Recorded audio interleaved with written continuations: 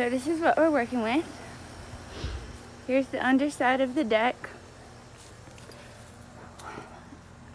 I plan on maybe in the future um, securing underneath the lower part but for now we're just going to do along these posts and around and then I'm going to have it come out through here for sunshine. We've got some containers here where this will be the turtles pond. This is going to be the, I'm going to have a, a worm bed for, for them to feed as naturally in their habitat as they can. And then um, we're going to have minnows in that blue one. And then I found this piece of PVC pipe right here.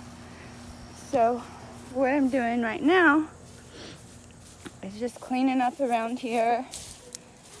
I've got some weeding I've been doing and uh, I've got some vines that I've had to replant that came out of these pots that I'm using from where I'm redoing the flower bed up there.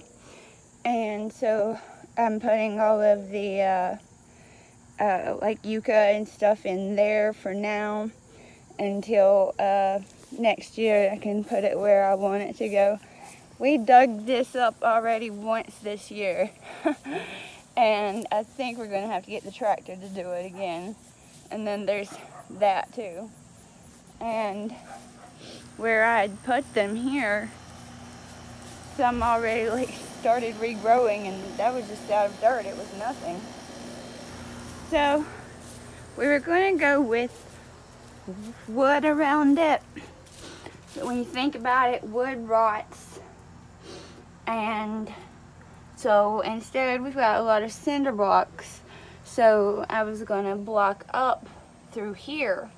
And I was thinking about how much dirt was going to come out for the ponds.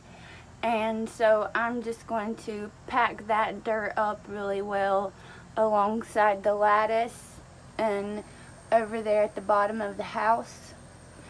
And so I will have enough cinder blocks for the outside part. So, let's see how it goes.